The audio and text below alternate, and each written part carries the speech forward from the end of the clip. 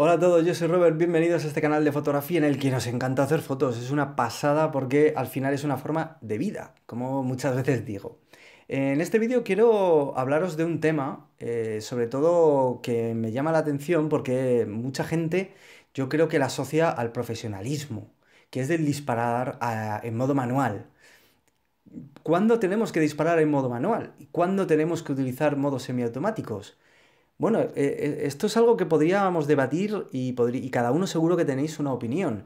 Yo os voy a dar la mía. Yo creo que trabajar en modo manual no es sinónimo de ser profesional, es sinónimo simplemente de querer conseguir justamente un efecto con nuestra cámara. Por ejemplo, pues si queremos eh, una larga exposición para conseguir efecto sedoso en un río, tendremos que trabajar en modo manual. Si queremos eh, disparar y conseguir eh, capturar las estrellas en un paisaje nocturno, tendremos que trabajar en manual.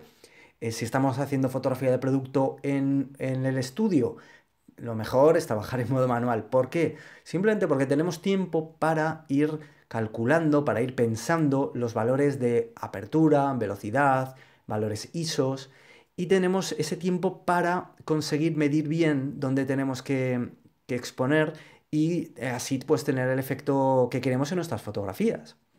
Sin embargo, también os digo que hay situaciones o momentos en los que profesionales, aficionados, pues tienen que trabajar en, en modos semiautomáticos. Ya sabéis, prioridad de apertura o prioridad de velocidad. ¿Por qué? Pues porque nos eh, quita muchos problemas y porque nos hace ser rápidos. A veces eh, tenemos que conseguir la foto. Entonces no podemos estar eh, perdiendo mucho tiempo y tenemos que tener ciertos valores predeterminados. Si tenemos mucha pericia, pues sí que podemos trabajar siempre en manual. Yo hubo una época en la que me empeñé por aprender, por mejorar, en trabajar fotografías rápidas, eh, fotografías callejeras, fotografías de acción en modo manual. Y te vuelves un poco loco, porque o eres un, tienes muchísima pericia o siempre acabas equivocando la exposición o, tienes tantas cosas que pensar para resolver una escena que la, a veces la foto, pues bueno, es, es más complicada. Y por ahí existe el modo de seleccionar una apertura, con la prioridad de apertura y que eh, seleccionando la ISO, pues la cámara te calcule una velocidad que si tú no estás de acuerdo siempre puedas compensar la exposición. Si conoces muy bien la cámara ya sabes lo que tienes que compensar la exposición, sabes hasta dónde puedes llegar y hasta dónde no. Si tenemos una cámara sin espejo nos ayuda el ver a tiempo real qué efecto estamos realizando, qué, eh, qué cambios estamos realizando en la exposición y verlo en la pantallita LCD o en el visor electrónico y esto nos ayuda es una de las mejores ayudas que tenemos con las cámaras sin espejo. Eh, con las SRL no, tenemos que conocer bien la cámara, incluso a veces hacer una foto de prueba y ajustarla, ¿no? Pero nos ayuda mucho. La prioridad de velocidad exactamente igual. Seleccionamos una velocidad, un valor ISO y la cámara nos va a calcular la apertura adecuada para, eh, para esa exposición que nosotros siempre podremos corregir compensando la exposición hacia arriba o hacia abajo. ¿De acuerdo? ¿Para cuándo es interesante usar estas prioridades? Ya digo, cuando queramos rapidez. Por ejemplo, imaginaos una sesión eh, ya no de modelo, sino una sesión más rápida, ¿no? En la que tengamos de fotoperiodismo, por ejemplo, que tengamos que resolver rápido, sin pensar. Son momentos de mucho estrés. Ya nos vamos un poquito del tema aficionado, ¿vale?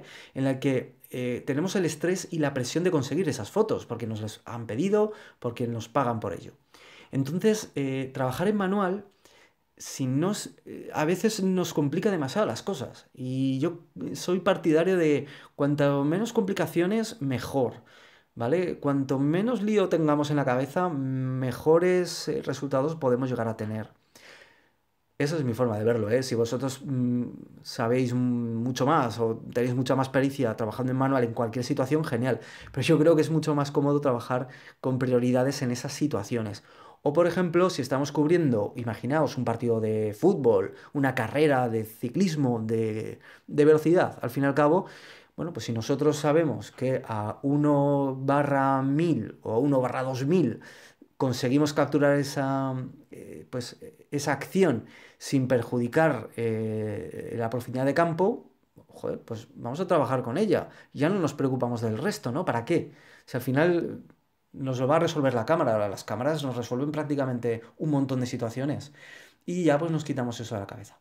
Por lo tanto, eh, ¿cuándo trabajar en manual? Cuando tengamos tiempo, cuando queramos conseguir ciertos efectos, ¿vale? Como, como os lo he comentado. Cuando no, pues por ejemplo en la Street Photography, pues ¿por qué no? Trabajamos en, automático. Incluso hay muchos profesionales que trabajan con el modo P de program, ¿no? que en el que les calcula la apertura y la, y la velocidad, mm, deciden la ISO y compensan exposición. Y ya está.